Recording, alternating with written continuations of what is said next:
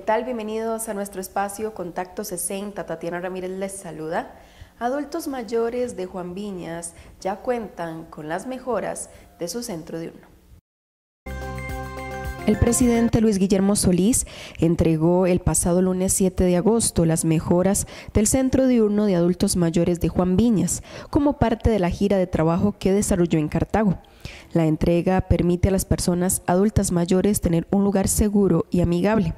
Es también una manera de retribuirle algo a quienes dieron tanto durante sus años de juventud.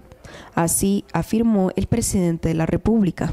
Las mejoras a las instalaciones incluyen la ampliación de la cocina, la conclusión del salón multiuso y la remodelación del edificio para brindar el servicio de fisioterapia. La inversión de las obras alcanza los 57 mil millones de colones aportados por la Junta de Protección Social.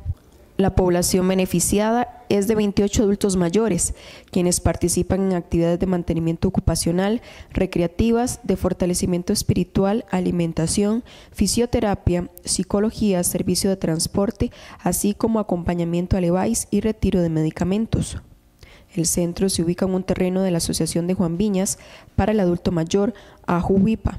La AJUVIPA surgió en 1990 ante la necesidad de las personas adultas mayores quienes permanecían durante varias horas del día sin compañía, en aislamiento o bien sin ningún recurso familiar. A través de la gestión de la comunidad, la Hacienda Juan Viñas donó el lote y los materiales para construir el centro, que tiene capacidad para 30 personas adultas mayores.